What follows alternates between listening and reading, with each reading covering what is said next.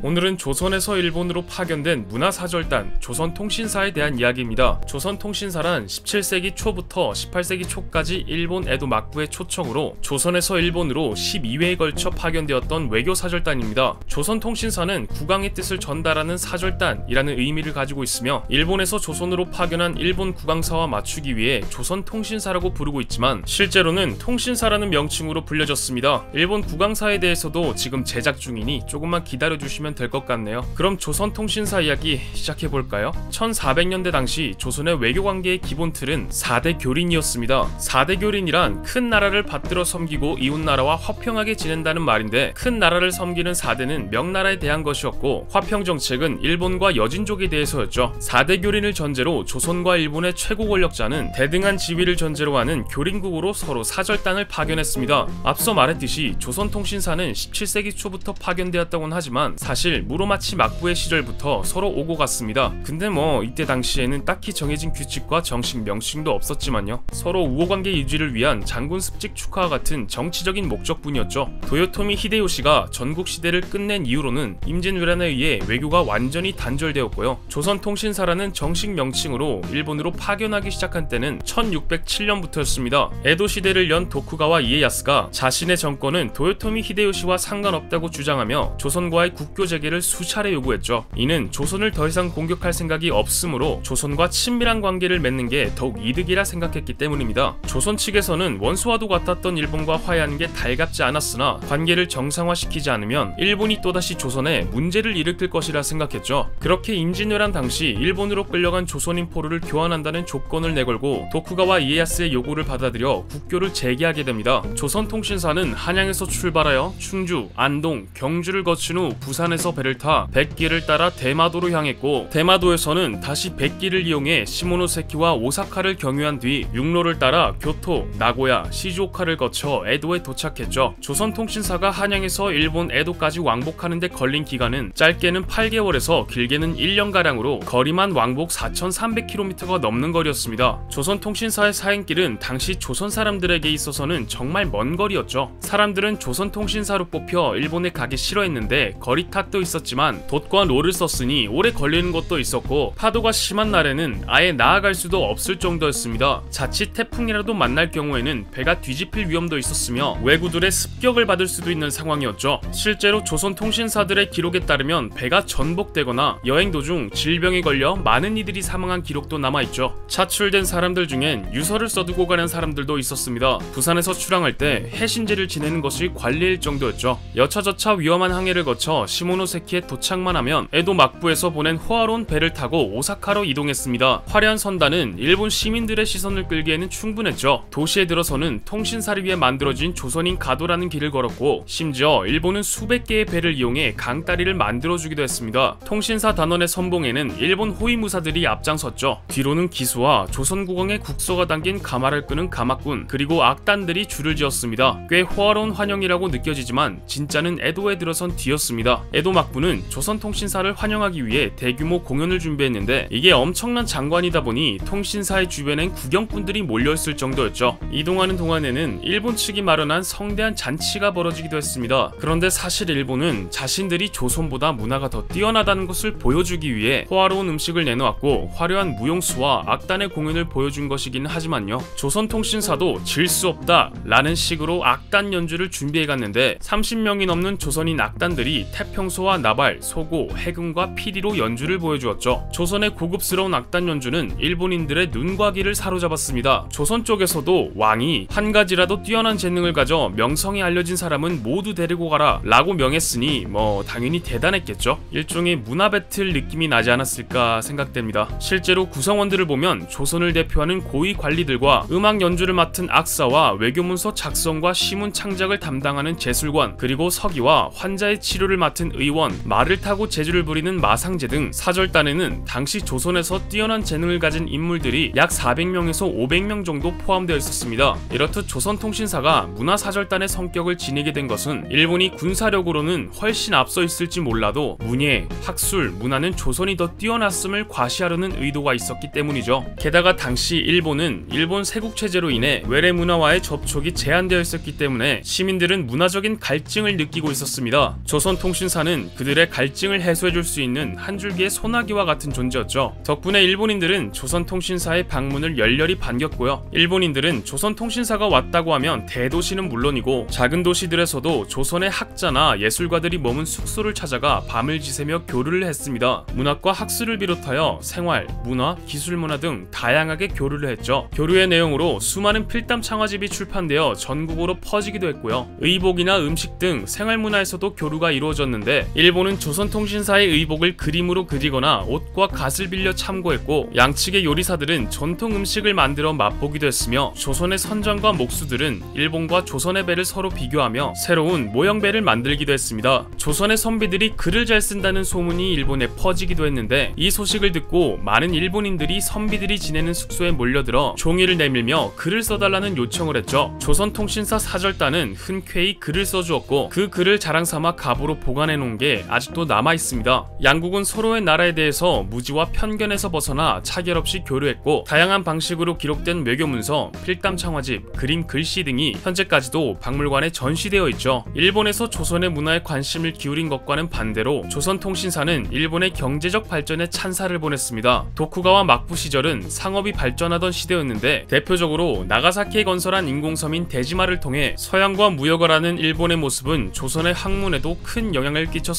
조선통신사의 사절단으로 파견되었던 북학파의 거두, 박재가는 청나라와 일본을 예로 들어 해외 무역의 중요성을 주장했고 조선도 이를 받아들여 무역을 했죠. 일본의 연구 성과도 그대로 조선에 들어와 정약용 등의 실학자들에게 많은 영향을 미치기도 했습니다. 신유한의 해유록에는 이 오랑캐가 어떤 사람이기에 이렇게도 좋은 강산을 차지하였을까 라던가 산천과 누대와 사람들의 차림만이 아름다울 뿐만 아니라 참대숲과 꽃 또한 제각긴 내로라고 나서며 샘을 내는 듯 다투어 아름다움을 자랑하고 있었다 라고 기록되어 있습니다. 왜이 풍속이 그릇이 더러우면 먹지 않고 주인의 얼굴이 못생겨도 먹지 않는다. 그래서 늘어서 있는 주점에 미인이 많다는 기록도 존재하죠. 미인이 많다니 아직 일본 여행을 못 가봤는데 꼭 가봐야겠네요. 여담으로 1400년대 딱히 정해진 규칙 없이 일본에 파견된 송희경의 기록에는 일본은 여자가 남자보다 두 배나 많다. 거리에 있는 가게에 나가보면 유녀들은 옷을 반쯤 벗은 상태다. 음란한 풍속이 크게 유행하여 유녀는 지나가는 사람을 보면 나와서 길을 막으며 자고 가라고 청하는데 옷깃을 잡아 끌기까지 한다. 라고 기록되어 있는데요. 송희경이 일본을 방문할 때는 일본의 남북조 시대가 끝나고 이즈막 무로마치 막부가 열린 시점이었습니다. 오랜 기간 동안의 전쟁으로 인해 많은 남성들이 죽은 터라 여초 현상이 심각한 시기였죠. 이러한 전쟁의 후유증과 아직 안정화되지 않은 정부는 곧 일자리 부족으로 이어졌고 여성들은 생계를 유지하기 위해 유녀 생활을 시작한 것이었죠. 이게 점점 커지면서 생겨난 것이 바로 요시와라 유각입니다. 요시와라 유각에 대한 내용은 채널에 영상이 있으니 참고해 주시면 되겠네요. 다시 본론으로 돌아와 조선통신사와 일본은 활발히 교류를 하였지만 19세기에 들어서는 조선, 일본 모두가 재정적, 정치적으로 어려움을 겪었기 때문에 1811년 300여 명의 소규모 사절단을 일본 대마도에 보내 국소를 교환한 게 마지막 조선통신사였습니다. 이후 일본은 1853년 미국 페리오의 내항과 1868년 메이지 유신 등으로 인해 막부가 무너지게 되면서 조선통신사를 요청하지 않았죠. 마지막으로 여기서부터가 정말 하고 싶은 이야기인데 조선통신사를 통해 조선과 일본은 서로 간의 오해를 풀고 활발히 교류하였습니다. 반면 현재는 과거 그리고 서로 간의 반일 반한 감정으로 오히려 사이가 좋지 않죠. 실제로 가신이었던 와타나베 제노에몬이 1748년경에 조선통신사를 묘사해 그린 만화가 2004년 교토에서 발굴되었을 당시 논란이 일어나기도 했습니다. 그 그림 속엔 통신사 두 명이 닭을 들고 있고 주변의 일본인들은 싸우는 듯한 동작을 보였기 때문이죠. 한쪽에서는 조선통신사가 닭을 훔치는 것을 보고 일본인들 이 제지하려 달려드는 것이다. 그러므로 조선통신사는 한심한 도둑들이었다는 주장을 제기했고 도둑이 아니라 단순히 주변에서 노는 아이들을 묘사한 것이며 닭을 잡은 통신사는 날뛰는 닭을 제압한 것뿐이라는 주장도 나왔습니다. 최초 발견자는 이 해석을 지지했죠. 근데 사실 조선통신사들의 기강이 문란했던 적이 없던 것은 아닙니다. 조선의 역관이 남긴 사행록에 따르면 조선 측에서 먼저 빌미를 제공해 일본인과 싸움을 벌이는 적이 많다고 개탈한 기록이 존재하죠. 뭐 어쨌든 어떻게 생각하냐에 따라 해석이 달라지지만 조선통신사의 사례는 오늘날 국가, 민족, 인종, 종교 간의 갈등에서 해법을 찾고 긍정의 기억을 되찾아주는데 도움이 되지 않을까요? 조선에서 일본으로 보내진 문화사절단 조선통신사에 대한 이야기 이번 편은 여기까지입니다.